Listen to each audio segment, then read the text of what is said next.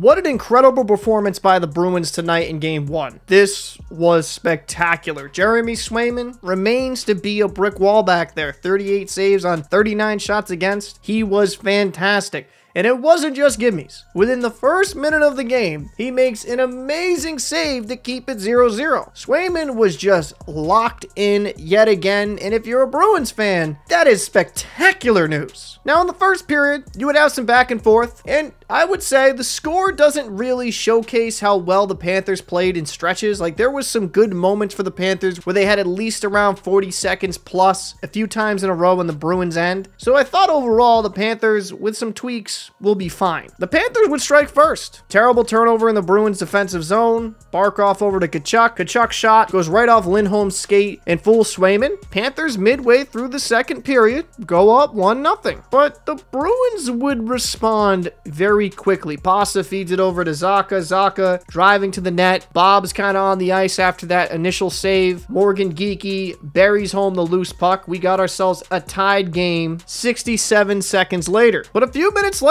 Bruins would get on the board yet again. Mason Lohrei with an absolute snipe. Very little space to put this puck, and he rips it right over the shoulder of Bobrovsky. The Bruins go up 2-1. And then they would keep their boot on the neck of the Panthers. Brandon Carlo, the man who had his son born today, flies down to Florida just in time to get on the ice with an absolute snipe. Some traffic in front. Florida defender has Marchand wrapped up, but that took away Bob's eyes.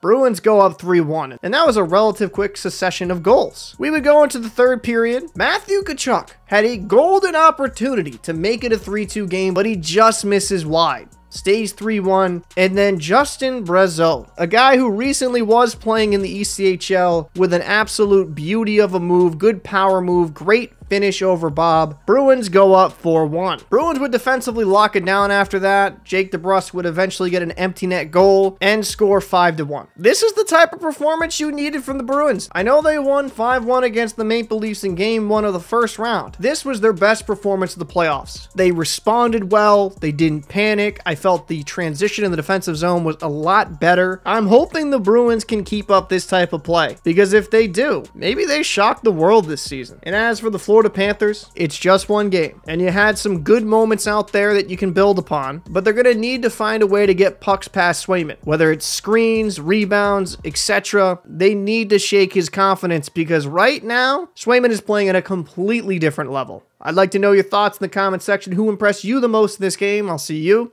in the next one.